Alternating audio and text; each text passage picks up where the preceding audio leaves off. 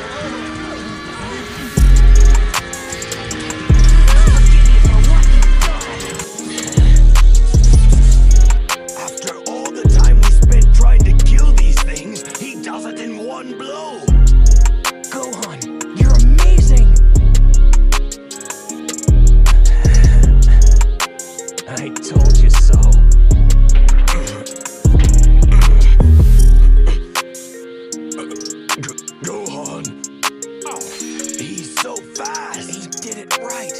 He increased his strength without losing speed.